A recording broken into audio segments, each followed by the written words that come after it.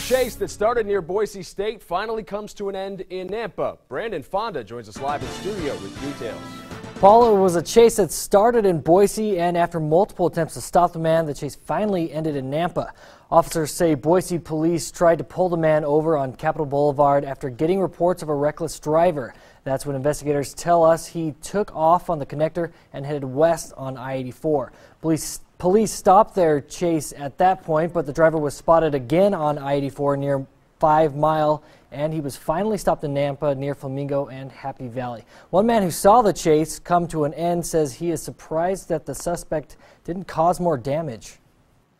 There was probably about 20, 30 cop cars following him. They were swerving in and out of traffic, and then uh, Boise Police Department pinned him, and then he got away, and then he spun out and turned into the driveway this way. That's when police were finally able to box him in. The man is now in custody and he's being questioned by police. We still don't know what caused the man to flee or if anyone was injured in the chase, but we will update you as soon as we get more information. Live in studio, Brandon Fonda, Fox 9 Inner Sight.